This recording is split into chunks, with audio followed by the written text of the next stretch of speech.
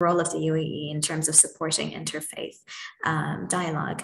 So, on that note, I would like to introduce our next speaker that I'm really actually excited to introduce, um, Dr. Andrew DeCort, who is the co director of the Neighbor Love Ethiopia movement, and will be talking to us about unlocking interfaith flourishing. So, Dr. Andrew, thank you so much for joining us. And whenever you're ready, please, the floor is yours. Thank you so much, Miss Leena. I'm going to go ahead share my screen here.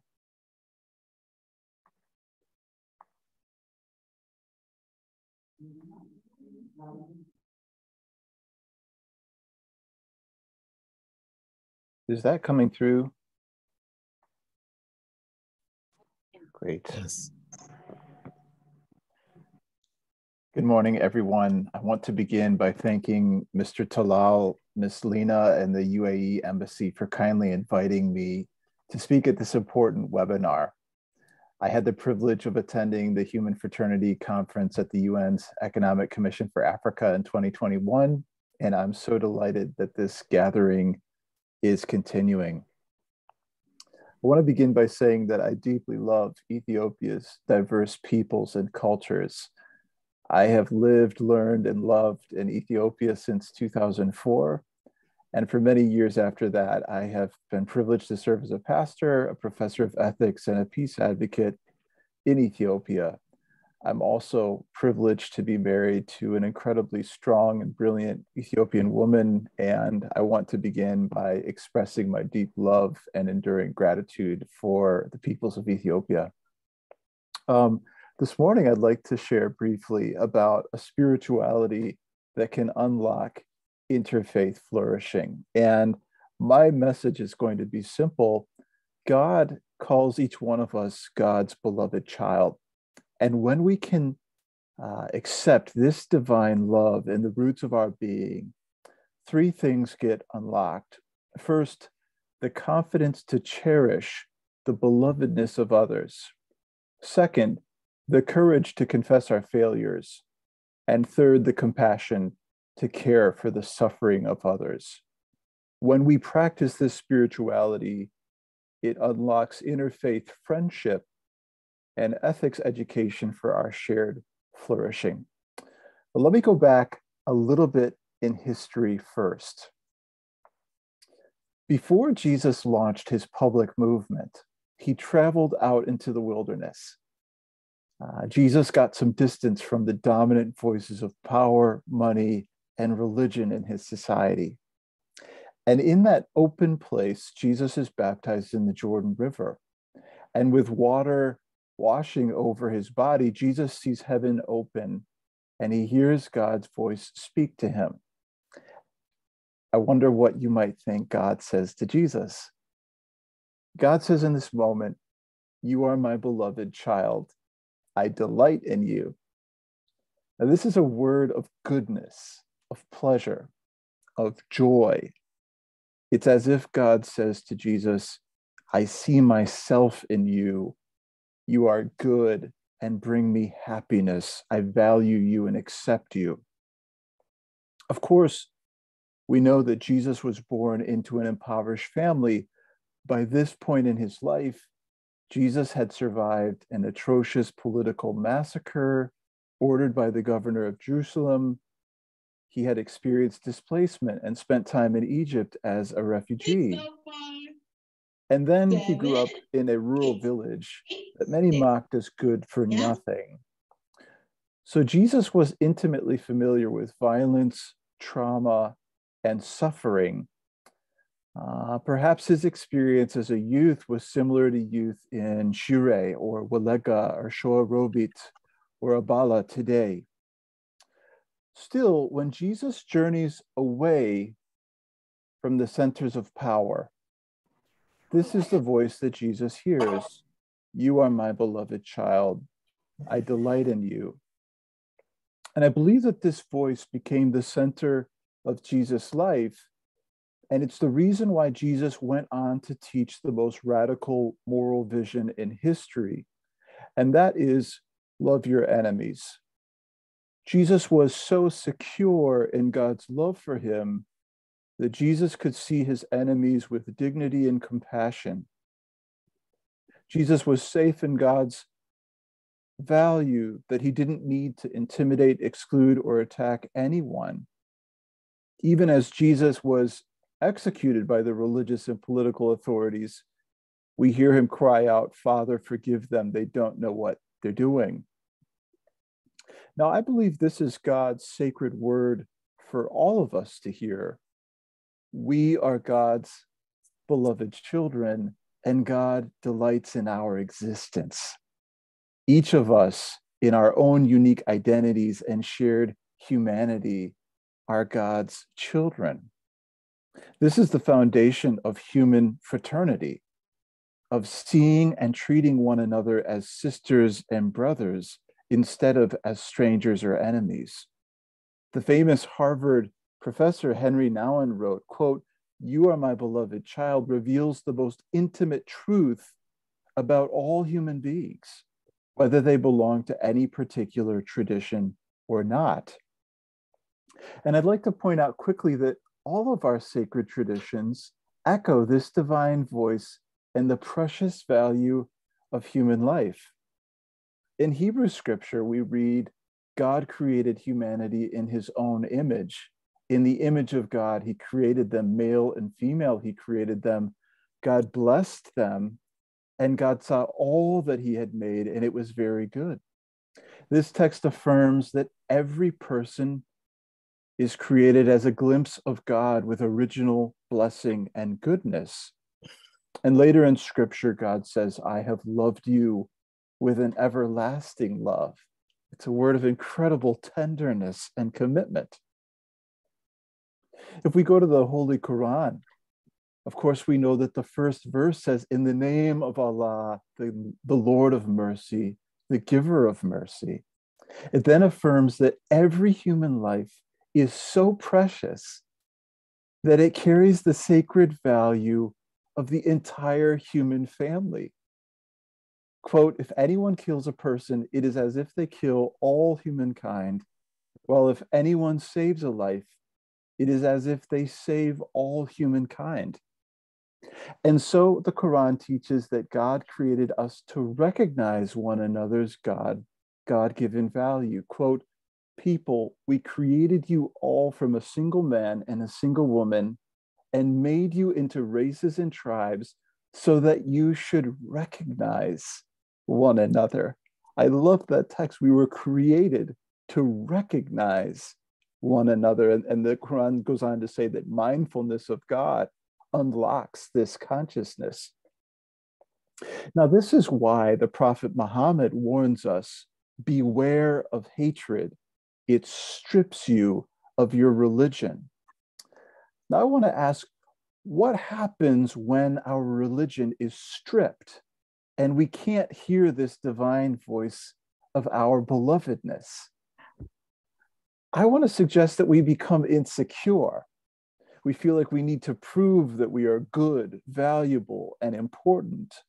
We compete with one another for recognition. We start defining who's in, who's out, who's higher, who's lower, who's more, who's less. And this means that we become isolated and aggressive. Now, I want to have a confession here that I've battled with these tendencies in my own life. Um, and perhaps you have as well. When I'm not listening for God's voice of love, I want to prove that I'm more important, that I'm smart, that I'm powerful, uh, maybe that I'm higher than other people. But I found that this competitive mindset only leads to comparison, conflict, loss, and suffering. And when this divine voice is silenced, we begin to other. And I see this as one of the primary challenges facing human society today. We see others as less or unrelated to ourselves. That's the breakdown of fraternity. We see them as the problem. We complain and blame and attack uh, we start seeing and talking about others as if they're all the same. Um, when things get really, really othered, we begin calling people cancers, hyenas, weeds, devils. We say these things about people that God has made and created us to recognize. The result in the collective ego is what we could call religious nationalism. And religious nationalism really says we are more, they are less. We are chosen, they are cheap, we belong, they are conditional. Now, of course, this is the mindset that the Prophet Muhammad said strips us of our religion. It leads to religious leaders who support violence to politicians who promise prosperity but deliver poverty, to the horror of drones bombing villages. We act strong, but secretly we are insecure, and so we become reactive, aggressive, and violent. And in this way, we lose true power, creativity, and flourishing. But I want to flip this around and ask what happens when we receive this divine voice of love and we let it penetrate our hearts in our communities? What happens when we internalize, You are my beloved children, I delight in you? Let me mention just three outcomes that are, are crucial for unlocking interfaith flourishing. The first is this when we know that we are loved, we unlock the confidence to share this belovedness with others. We see others' dignity and we become presences of peace. Because I am loved, I don't need to fear you or try to intimidate you or make you less than me. I want you to know how beautiful you are, how gifted you are, how much we have to share with each other. I no longer see you as a stranger or enemy. You're my neighbor, my sibling and God's sacred family with equal value. And your joy brings me joy. Second, when we know that we're loved, we unlock the courage to confess the ways that we have humiliated and hurt one another. We no longer need to lie or hide our failures we can confess the truth with humility. I'm sorry. I thought I would feel more important if I made you feel less important. I thought I would make my community safer by making your community more insecure. I thought I would achieve justice by returning injustice upon you. I was wrong. Please forgive me. I don't want to devalue or dominate you. I want togetherness. Please let go of my failures and let us start rewriting our story together. We are we, God's beloved children.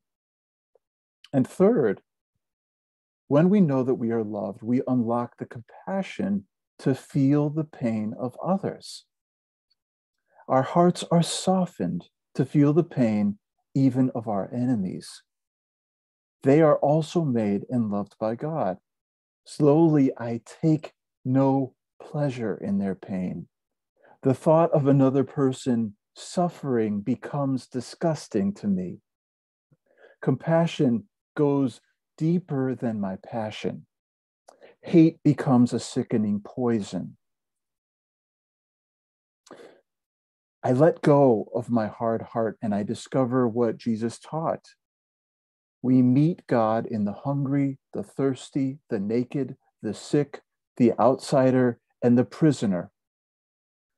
Now, don't these people sound like the victims of Ethiopia's civil war? Jesus says that they are reflections of God, and how we treat them is how we treat the divine. Divine belovedness unlocks our compassion for the suffering of others. Friends, when we can hear this divine voice that echoes across our diverse traditions. You are my beloved children. We learn that we share belovedness. We can confess our failures and we can grow in compassion. To put this in other language, we share dignity, humility, and empathy. This spiritual transformation unlocks two crucial outcomes in our public life that I want to conclude with. First, our divine belovedness is the spiritual foundation of interfaith friendship, dialogue, and mutual flourishing. We don't need to compete. We don't need to struggle against one another. All of our sacred traditions contain echoes of this divine word You are my beloved. I delight in you. Let us learn to hear these words of fraternity and speak them to one another across the boundaries of religion, politics, and ethnicity. I'm a Christian, but some of my most meaningful encounters with God have been with Muslim brothers and sisters. I say, let us become friends and get to know one another. Like the Holy Quran teaches, let us recognize one another. Second, our divine belovedness is also the moral foundation of public education in interfaith ethics. Let us teach our students that Hebrew scripture says that all people reflect God's sacred image and that God commands us to love our neighbors as ourselves. Let us teach our students that Christian scripture says that we are God's beloved children and God commands us to love even our enemies. Let us teach our children that Islamic scripture says that we are all created by God to recognize one another and commanded to be good to our neighbors near and far. Let us educate our children to understand that democratic law and culture builds upon this sacred foundation where our diversity and humanity, our rights and responsibilities are held together. Of course, we know that ignorance leads to intolerance, and intolerance leads to extremism. So let us educate the coming generations in interfaith ethics. Please understand, this does not mean asking our students to become a Christian or a Muslim or another identity. It means educating our youth about our shared sacred values and learning how to dialogue with one another about these values for our shared flourishing. My colleagues and I at the University of Bonn have developed a simple curriculum for this purpose called Enemy, Stranger, Neighbor, and Friend, a rough guide on religion and othering. We've piloted this youth program uh, with youth leaders from different countries and faith traditions around the world, including several Ethiopian young leaders based in Ethiopia. And we have been amazed by how excited youth were to learn, dialogue, and encourage one another. This curriculum is now being published by the World Council of Churches, and I think it could be an exciting paradigm for programming in Ethiopia. I want to say 98% of Ethiopians say that religion is very important to them. And around 70 million Ethiopians are under the age of 25. Ethiopia is a young country full of people who deeply desire meaning, belonging, and purpose. So, why should these young people grow up ignorant of the best moral teachings of their sacred tradition and the traditions of others? Why shouldn't they experience an inspiring interfaith ethics class in university that educates them in the divine values of human dignity, courageous honesty, and radical compassion? Why shouldn't we have a curriculum that teaches about the evil of war and the flourishing that comes from nonviolence rooted in scientific data? Why shouldn't every Ethiopian student carefully study the human fraternity document and learn this beautiful vision of being human together. Across our traditions, we hear God saying, You are my beloved child. I delight in you. I believe that God says this to Tigrayans and Amharas, to Oromos and Afars, to Gumuz and Walaitas, to Emiratis and Americans, Ukrainians and Russians, I believe God says this to Muslims and Christians, to Hindus and atheists. You are my beloved children. This is the sacred voice that can heal othering and that opens the way to a new interfaith flourishing. It unlocks mutual dignity, courageous honesty, and radical compassion. And this opens a new connection for friendship and ethics. Let us energize this vision for our children and the shared moral values in our society. I want to conclude, friends, by inviting you to maybe look um, at your screen at someone who is who looks different than you. Would you look at that image of that person's face? And can I invite you to say in your heart, You are God's beloved child. I delight in you. Let us learn to say these healing words to one another again and again, even when we are hurting, even when we're afraid.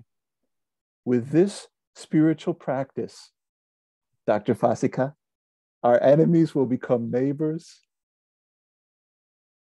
strangers become friends, and we will find our way forward into flourishing even when we fear that this is impossible. Thank you. May we all flourish together. Thank you so much, Dr. Andrew. I mean, that was such a beautifully presented um, uh, start to the dialogue, and you've mentioned so much, I can't even begin um, to touch on everything that you have said. But one thing I did want to add before we move on is how you basically highlighted to us how we can unlock religious traditions and practices to move societies into more nonviolent means. Um, another thing that you mentioned or brought to light is how religious theology does show us um, and does mention prior to the treaties that we've signed that we must build partnerships in what you refer to as interfaith friendships, um, as well as promote reconciliation and healing through, as you had said, compassion, dignity, and honesty. And uh, on that note, I really do want to thank you for starting off the discussion with a kick and uh, and we, we truly appreciate it. But before we do move on to our next uh, speaker, I wanted to invite